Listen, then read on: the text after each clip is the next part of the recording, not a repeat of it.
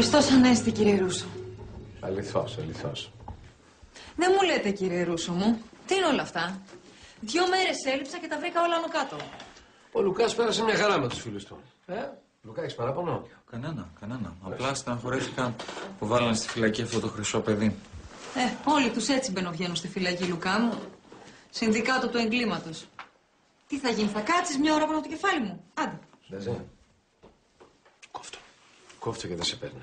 Γιατί έχω άδικο, κύριε Ρούσο; Δεν τους εμπιστεύομαι εγώ όλους αυτούς. Ποιος μου λέει εμένα ότι αν τους αφήσω το Λουκά δεν θα τους τα μασίσουν όλα; Οι δυο μας μιλάμε τώρα, λέγε τι θέλεις. Αυτό που σας είπα. Να γραφτεί το σπίτι του Λουκά στον Άρη. Αυτό που ζητάς είναι παράλογο. Ο Λουκάς δεν έχει καμιά αντίρρηση. Η άποψη ενός ανθρώπου με αμνησία νομικά δεν μετράει. Προσπάθησα να διαρευνήσω και τις προθέσεις παρέας και είναι αρνητικές. Συγγνώμη, τι δουλειά έχει η παρέα τώρα με τα περιουσιακά του άντρα μου; Όσοι έχεις κι εσύ, συγγενείς του Λουκά δεν είναι κανένας από εσάς. Τι μπορούν να κάνουν δηλαδή; Να διεκδικήσουν νομική συμπαράσταση, κορίτσι μου, αυτό θα κάνουν. Να το πετύχουν και να σε κυνηγάνε μια ζωή. Όχι, δεν μπορεί. Δεν μπορεί. Κάποια λύση θα υπάρχει. Μωρό μου. Πιέζεις στην κατάσταση, Ντέζη, θα γίνουν λάθη και θα τρέξεις με τα χειρότερα. Και για πόσο θα συνεχιστεί αυτή η κατάσταση δηλαδή; Δεν, δεν, δεν μπορώ άλλο. Σε είχα προειδοποιήσει από την αρχή. Ε, Δεν ξέρω τι να κάνω με όλο αυτό. πηγαίνει τώρα να ξεκουραστείς και να σκεφτείς με την ησυχία σου. Εμείς έχουμε άλλα τραχάματα τώρα, ε. Δεν πρόκειται να ασχοληθεί κανένας με αυτό. Άντε που σου λέω. Αγάπη μου, μείνε εσύ εδώ με τον κύριο Ρούσο. Θα πάω εγώ σπίτι μας να ξεκουραστώ λίγο, ναι. Ε, να έρθω κι εγώ μαζί. Όχι, εσύ θα μείνεις εδώ. Λουκά, θέλω να μείνεις εδώ να με βοηθήσεις. Σε χρειάζομαι. Καλά, άμα το λέτε εσείς. Να μου το προσέχετε. Δεν φοβάσαι, δεν ανησυχείς.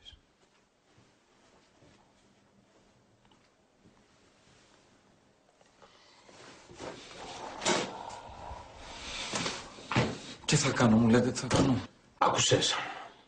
Αρπακτικό. Πώς θα ξεμπλέξω, Χριστέ μου. Να σου πω έτσι πώς το πάει αυτή. Σε βλέπω να το χάσεις στο σπίτι. Αν είναι για το γιο μου, τι να πάω. Κομμάτια να γίνει.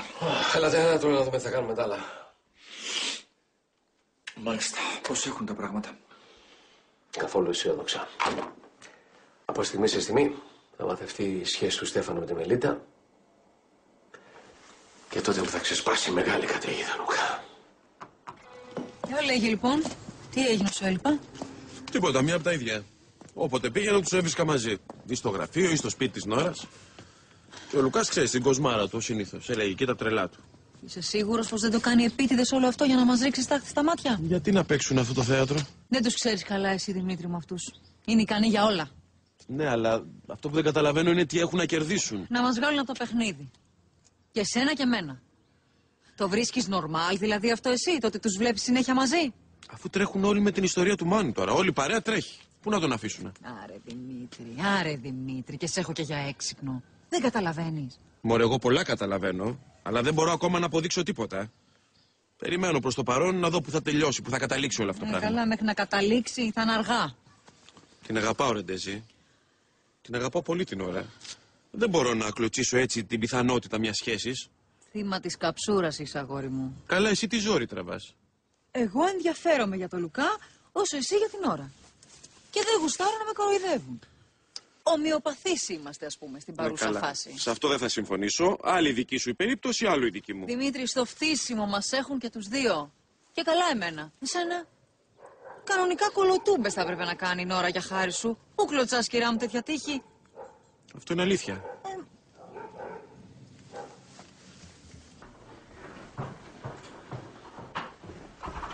Έλα, τι έγινε; Τι φαγώθηκες, ναι.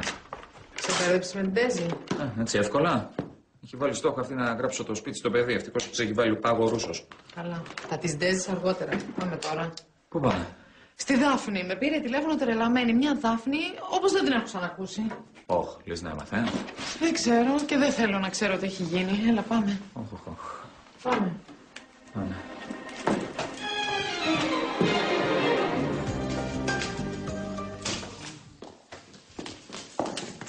Τι είναι, ρε παιδί. Γιατί τρέχουμε σαν τους τρελούς; Λοιπόν, ο Μάνος έχει άλοθη και υπάρχουν αποδείξεις γι' αυτό. Τι αποδείξεις; Πες του τώρα, Σμέρα Νικόλα. Λοιπόν, πήγαμε στο σπίτι του Μάνου να πάρουμε κάποια πράγματα να του τα πάμε. Και βρήκαμε ένα βίντεο.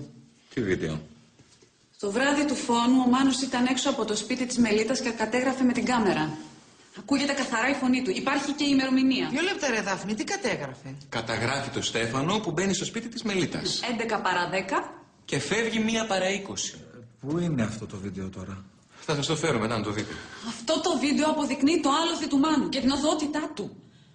Και το ερώτημα είναι, γιατί δεν μίλησε κανείς; Όταν έπιασε τον Στέφανο, γιατί δεν είπε ότι ήταν τη Μελίτας; Και η Μελίτα, γιατί δεν του έδωσε άλοθη; Παιδιά, ο Μάνος έχει απλώνει το άλοθη και δεν μιλάει.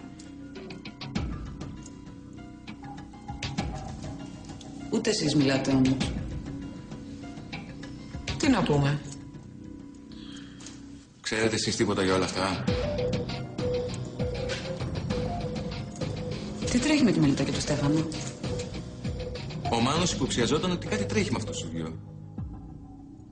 Είχε δίκιο.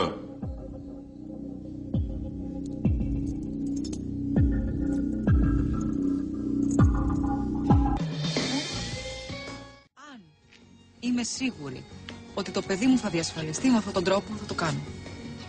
Αν όμως ο Λουκάς έχει θυμηθεί και με δουλεύει, Για πες μου τι θα κάνεις; Τη ζωή τους κόλαση θα